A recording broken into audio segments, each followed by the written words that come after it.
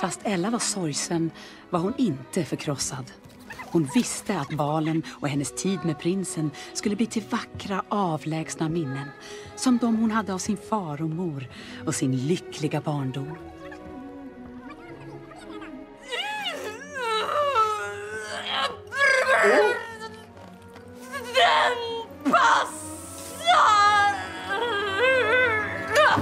Vilken otur fröken. Blomma grön, filidilli, en blomma blå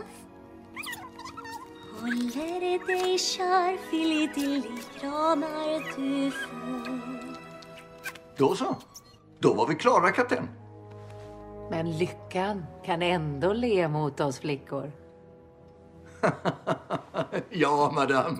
Ja, du är min filidilli, drottning så skön En blomma grön, filidilli, en blomma blå Håller dig kär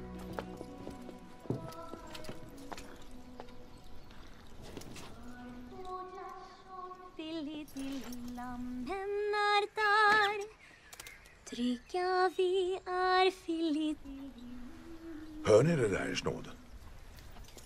Nu går vi, kapten. Ett ögonblick. Madame, det finns inga andra ungmör i ert hus. Nej.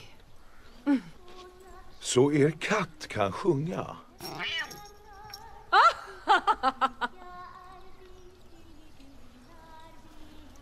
Nu får det vara färdiglekt, kapten.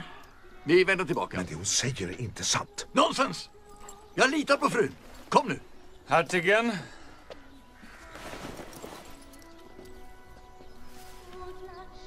Ers Majestät. vilken vacker röst.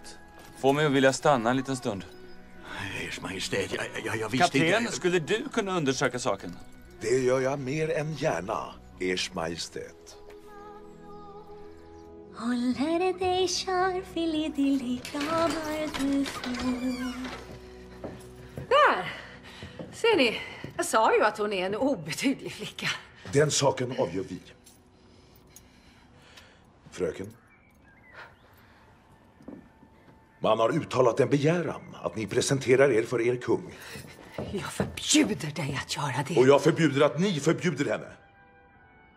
Vilken rätt har ni att stoppa en kapten? Är ni kejsarinna? Ett helgon? En gudinna? Jag är hennes mamma.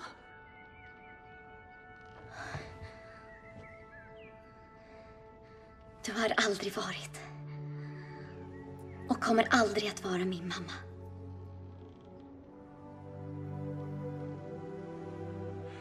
Kom nu, fröken.